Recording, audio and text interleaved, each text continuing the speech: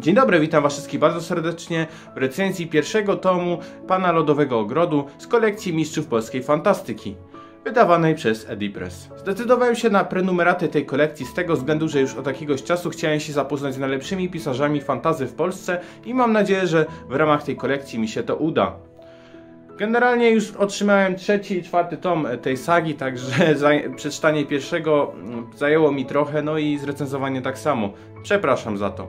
Jednocześnie, jeśli pojawią się jacyś nowi widzowie, zapraszam ich e, do krytykowania mojej twórczości i tak dalej. Serdecznie zapraszam. Pan Lodowego Ogrodu, a dokładnie tom pierwszy, został napisany przez pana Jarosława Grzędowicza w 2005 roku i wydany przez Fabrykę Słów, która przy okazji jest też partnerem tej kolekcji. Książka zyskała sporą sławę i wygrała nawet parę nagród, m.in. nagrodę Sfinksa w kategorii Najlepsza polska powieść roku. Pozostałe nagrody macie tutaj wypisane. O czym opowiada książka? Akcja dzieje się w przyszłości, kiedy to ludzkość podróżuje po kosmosie i bada obce cywilizacje. Wuko Drakainen, mężczyzna polsko-fińskiego pochodzenia, zostaje wysłany na planetę Midgard, gdzie ma za zadanie odszukać grupę naukowców uznanych za zaginioną. Niestety, Midgard to planeta, gdzie istnieje magia, a ludzkość służy potężnym bogom. Wuko, który na potrzeby misji przyjął imię Ulf Nocny Wędrowiec, musi odnaleźć się w tym wszystkim i nie popaść obłęd. Z wiadomych przyczyn tytuł nadaje się bardziej do kategorii science fantasy niż do czystej fantastyki, ale też Dick nie mówił w ramach tej korekcji, że musi to być czyste fantazy, prawda? Więc mam nadzieję, że nie znajdzie się grupa ludzi narzekająca na tą kwestię, bo byłoby to lekko absurdalne. Co do samej książki, to muszę wam powiedzieć, że jestem raczej zadowolony. Historia jest ciekawa, wciągnęła mnie do samego końca. Choć nie zaprzeczam temu, że łapała czasami lekką zadyszkę. Świat wydaje się tutaj niezwykle dojrzały i realny, ale biorąc pod uwagę zachowania postaci i struktury społeczeństwa, a nie na przykład to, że istnieje w nim magia. Jest mrocznie, brutalnie, więc sorry jeśli kogoś urażę tym porównaniem, ale jeśli ktoś lubi Wiedźmina, to ta książka powinna mu się spodobać. Zauważyłem, że pojawiło się sporo kontrowersji wokół postaci samego Wuko, moim zdaniem niepotrzebnie. Część osób zarzucała mu, że to jest Mary Sue, idealna postać, której zawsze wszystko wychodzi, co jest kompletnym absurdem. Jasne, Wuko posiada pakiet całkiem przydatnych umiejętności walka mieczem, łucznictwo, tropienie, ale wynikało to z jego szkolenia na ziemi, gdzie przygotowano go na naprawdę różne scenariusze i moim zdaniem było to przedstawione w całkiem sensowny sposób. W dodatku jego broń i pancerz były wykonane z bardzo lekkich, a jednocześnie niesamowicie wytrzymałych materiałów, co dawało mu sporą przewagę, ale nie wynikało z samej postaci, tylko z ziemskiej technologii, więc trochę dziwne.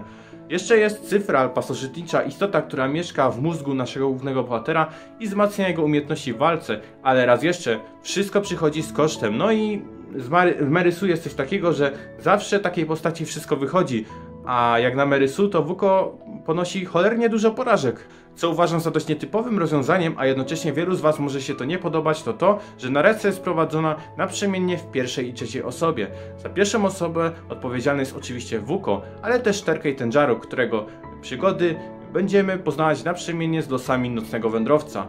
Za trzecią osobę jest odpowiedzialny Cyfral, Przynajmniej tak twierdzi Wikipedia, bo ja nie zauważyłem, żeby to cyfra był odpowiedzialny akurat za tą narrację, który pełni funkcję wszechwiedzącego narratora i tyle.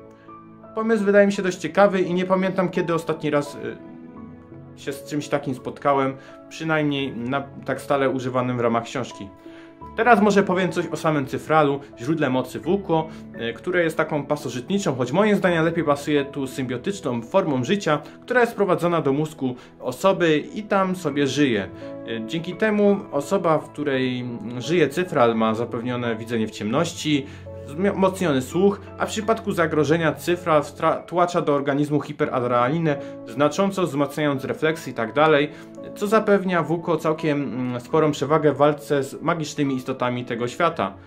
Jednocześnie po walce Wuko jest niesamowicie wyczerpany i musi naprawdę sporo zjeść i odpocząć, żeby wrócić do pełni sił. Jeśli zaś chodzi o magię czy istoty stworzone na potrzeby książki, to powiem szczerze, że autor za bardzo się nie popisał nie spotkałem się tutaj z żadnym rodzajem magii, której bym wcześniej w żadnym jakimś y, medium nie widział, a istoty są raczej oparte o nasz rzeczywisty świat i powieści fantazy różnych autorów. I trudno tutaj mieć pretensje o to do pana Jarosława Grzędowicza. Powstało już dziesiątki tysięcy książek, komiksów, filmów, seriali i tak które przedstawiło mnóstwo różnorakich, ciekawych stworzeń. I wiadomo, że z czasem ta pula na ciekawe, oryginalne pomysły już się pomału wyczerpuje. Książka ma 440 stron, co jest moim zdaniem całkiem sporo i uważam to za plus, bo dzięki temu trochę czasu nam zajmie tego przeczytanie. Y, Rozdziały są średnio 140-50 stron, więc to jest akurat kwestia, która niektórym ludziom może mocno przeszkadzać, ale na uspokojenie dodam, że y, każdy rozdział jest podzielony na takie segmenty, oddzielone albo trzema gwiazdkami, albo po prostu pustą linią. No dobra, oceniłem treść książki, to raczej dość pozytywnie, to może teraz zwrócę uwagę na wydanie tytułu. O ile okładka jest bardzo ładna i wytrzymała, tak muszę ponarzekać trochę na druk. Niestety litery wielu miejscach prześwitują mi na drugą stronę, co jest mocno nieestetyczne, ale na szczęście nie przeszkadza mi to zbytnio w czytaniu. Podsumowując, Jarosław Grzędowicz zauroczył mnie przedstawionym światem i choć rozwiązania fabularne w tej książce nie są może zbytnio oryginalne, tak całość prezentuje się całkiem nieźle. Z wielką chęcią zobaczyłbym tą książkę w postaci jakiegoś serialu lub nieliniowego CRPGa, ale na to niestety będziemy musieli jeszcze trochę poczekać. W międzyczasie mogę wam jedynie polecić pierwszy tom kolekcji i liczę na to, że nie zawiodę się na kolejnym. To wszystko moi drodzy, pozdrawiam was wszystkich serdecznie, czekajcie na następną recenzję, cześć!